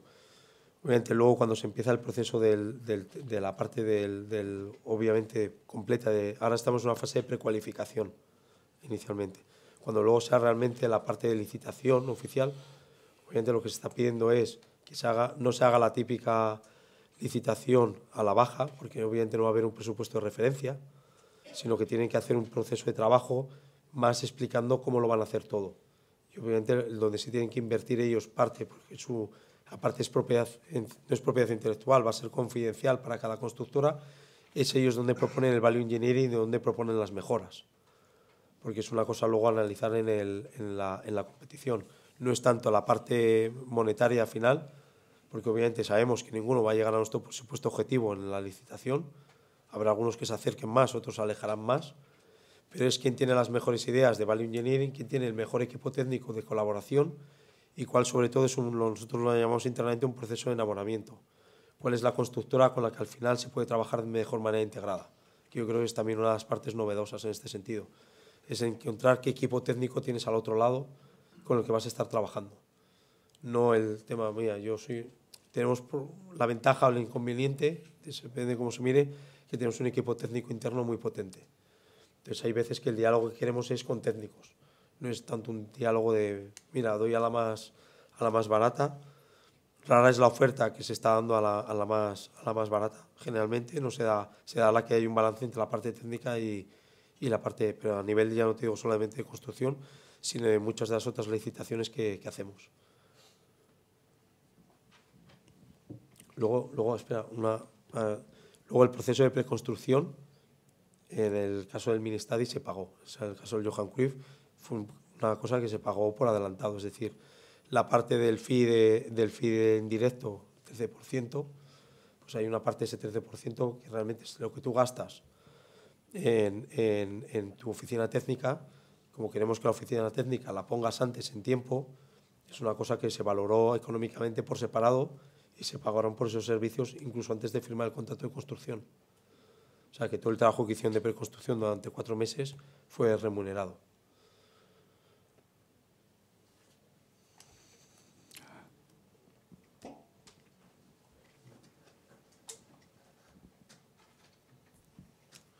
Hola, eh, para Miguel Ángel Álvarez. Eh, yo me llamo Miguel Álvarez, así que tenemos mucho en común en el nombre. Sí. Eh, bueno, según nos ha contado hace un momento. As, por favor. Sí, de acuerdo. Eh, según nos has contado hace un momento, todo esto del IPD, aparte Sí. de los eh, proyectos faraónicos, como ha Sí. dicho Rafael, eh, para que sea algo común en Sí. España, tiene que pasar, primero, se tiene que, tiene que entrar por Inglaterra, extenderse por los países nórdicos, después extenderse hacia el sur, ir mutando para llegar a España. Que en España lleguen a, recibirlo eh, como una herramienta posible para ejercer los esfuerzos necesarios para adaptar la legislación vigente. ¿Cuántos años es esto? Y no deberíamos nosotros como eh, profesionales y como eh, diferentes cuerpos como el colegio o todo esto, intentar adelantarnos a todos estos pasos para alcanzar el sistema un poco más rápido. No me cabe ninguna duda. Estoy totalmente de acuerdo contigo. Es en ámbitos profesionales de donde tiene que salir el impulso para esto. Y tenemos una gran labor en ese sentido a desarrollar. Y los mm, colegios profesionales pueden ser un campo de actuación magnífico para, para hacer esto. ¿no?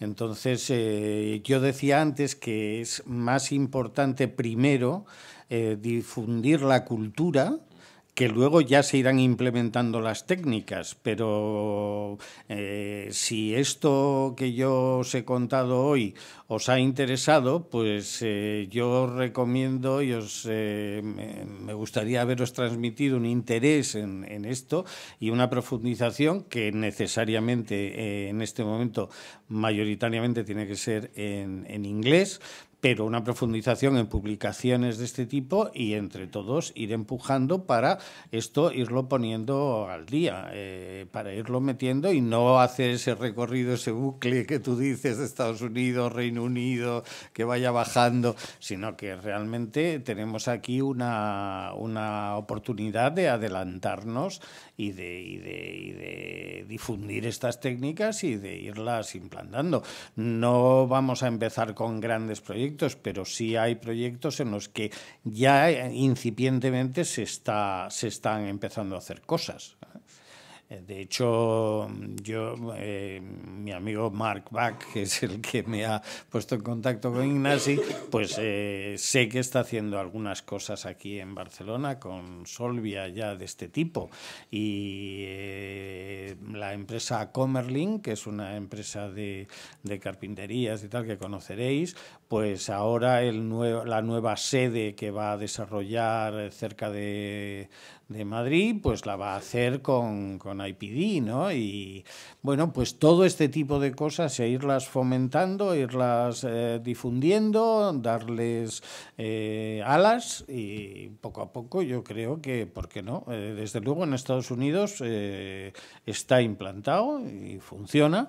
Me, me, parece magnífico el ejemplo del Barça, no lo conocía como, como lo conozco hoy y yo comprendo que, que tienen que ir como poco a poco, o sea que hacerles a las constructoras trabajar sin que cobren y tal, todo eso es complicado. Claro, en, la, en el IPD la empresa constructora es que está contratada cuando se sienta en la mesa es que forma parte del IFOA, del, del, contrato colaborativo, y está seleccionada, ¿por qué? Porque hay experiencias anteriores y hay empresas constructoras, si os metéis en la página del Link Construction Institute, pues podréis ver que hay empresas constructoras en Estados Unidos, no una ni dos, sino varias, que se están, están especializadas en contratos IPD, porque hay trabajo para ellos en ese campo. Entonces, cuando una, una empresa tan potente como el Barça o algo similar, pues se plantea hacer un contrato por esa vía, tiene un catálogo de empresas entre las cuales elegir para que colaboren con ellos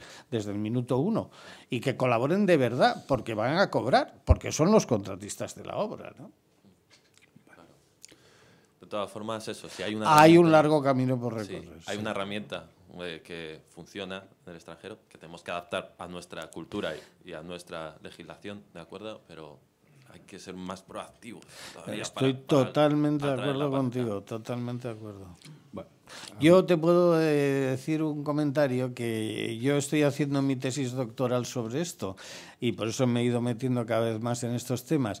Y, y cuando yo presenté mi tesis doctoral en la Escuela de Arquitectura de Madrid y hice mi presentación para que me aprobaran el título de tesis, esto os lo cuento para que no os desaniméis, pues lo, lo primero que me dijeron es que eso no era una tesis doctoral, eso como mucho era un artículo un artículo de divulgación, pero que eso no podía ser objeto de una tesis doctoral. O sea, a mí mismo me ha costado convencer a los catedráticos de la Escuela de Arquitectura de Madrid de que sí, que se puede desarrollar una tesis doctoral sobre estas materias. Entonces, fíjate lo lejos que estamos, ¿no? Porque si la, propia gente que está en, el mundo académico no lo ve, pues, eh, o sea, que hay mucho, mucho trabajo por desarrollar.